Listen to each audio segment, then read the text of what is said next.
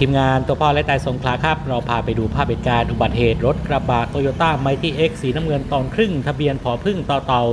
699 สงขลา ซึ่งบรรทุกเฟอร์นิเจอร์มาเต็มกระบะท้าย ถลายตกข้างทางระหว่างริมถนนสายสนามบินนอกกับสนามบินในหมู่หนึ่งตำบลควนลังอำเภอหาดใหญ่จังหวัดสงขลาเมื่อช่วงประมาณ 10 โมงครึ่งที่ผ่านมาเนี่ยครับในสภาพหัวเชิดขึ้นมาบนถนน และท้ายรถอยู่ในชายป่าริมถนน และมีควันพุ่งออกมาจากห้องเครื่อง คนขับและคนที่นั่งมาในรถรวม 3 คน ออกมาจากรถได้ทันก่อนที่รถจะถอยถลายตกลงไปในคูริมถนนครับและปลอดภัยทั้ง 3 คน และขณะเกิดเหตุรถดับเพลิงของเทศบาลเมืองคอนลัง และหน่วยกู้ภัย มูลนิธิมิตรภาพสามัคคีหาดใหญ่รีบมายังจุดเกิดเหตุ เพื่อเตรียมพร้อมฉีดน้ำเพราะเสี่ยงที่จะเกิดไฟลุกขึ้นมาจากหลุมควันที่พวยพุ่ง ออกมาจากห้องเครื่อง และภายในห้องเครื่องก็ยังมีน้ำมันเครื่องทะลักออกมา และไหลย้อยบนถนนครับ จากการสอบถามนายรัตนกรที่มาคุณอายุ 32 ปีคนขับ และเป็นเจ้าของร้านเฟอร์นิเจอร์เล่าว่า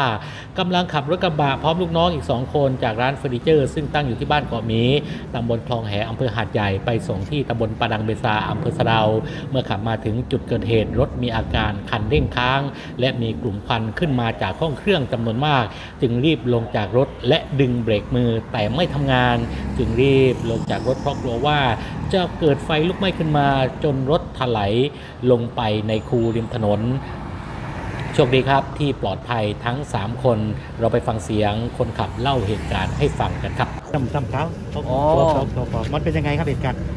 เหตุการณ์คือขี่มาถึงกับรถมันมีอาการกันเล็งทางครับพอกันเล็งทางถึงหรือมีควันขึ้นจากห้องเครื่องนะครับ พอควันขึ้นออกจากห้องเครื่องถึงพอคนลืมออกจากรถเมื่อนั้นรถมันลืมไหลครับมันก็เลยไหลมาลงตรงนี้ครับมาจากที่คนน่ะมากันสามคนไหลลงไปเองครับถูกเฟอร์นิเจอร์ครับจะไปตุ้งเฟอร์นิเจอร์ใช่ไหมใช่ครับแต่เอามาท่านเม็ดนะออกมาทันหมดครับไม่มีคนเจ็บแล้วตอนคนลงลงอย่างบนนู้นนี่นะลูกจับตรงนี้ครับอ๋อที่ว่าเล็กมือมันถึงไม่อยู่